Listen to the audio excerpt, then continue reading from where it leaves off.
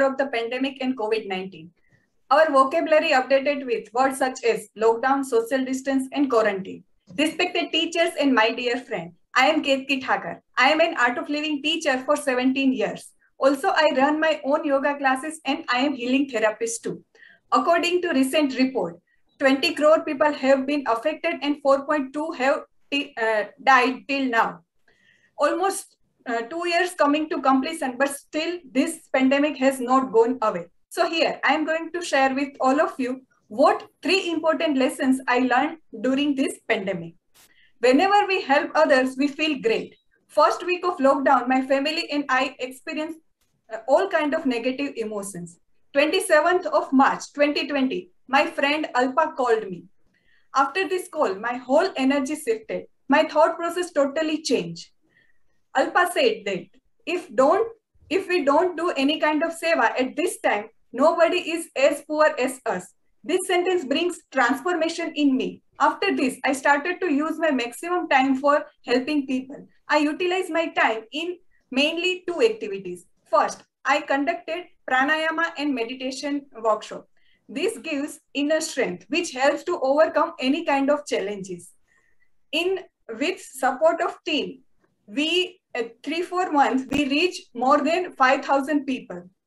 Secondly, I uh, talk with uh, 30 to uh, uh, 40 people in a day and ask them, what can I do for you? And don't worry, this time also go away. Doing this work, I feel more secure, calm, and centered. That was my first uh, lesson.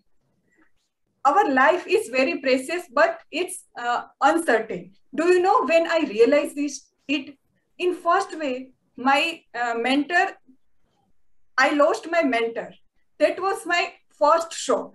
He lived in Rajkot. He was uh, 48 years old.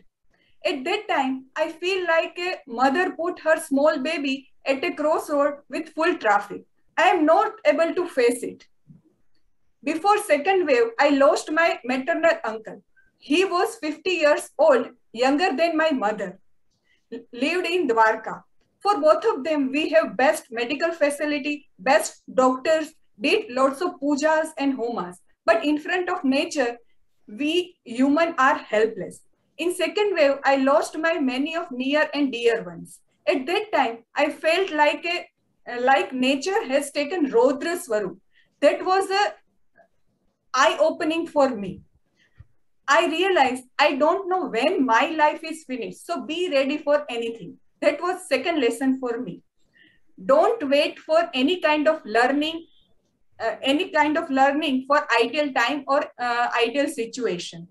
In last 16 months, I conducted more than 140 art of living courses. Before COVID, I conducted 170 courses in 15 years.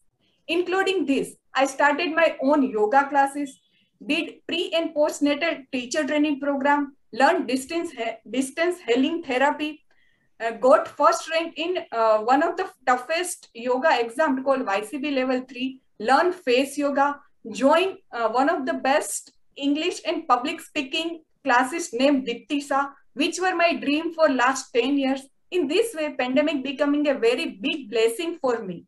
Conclusion of this, nature loves us a lot. Whenever we help others, we get merit. With merit and discipline, we achieve whatever we uh, want very effortlessly. Thank you very much for giving me a wonderful opportunity.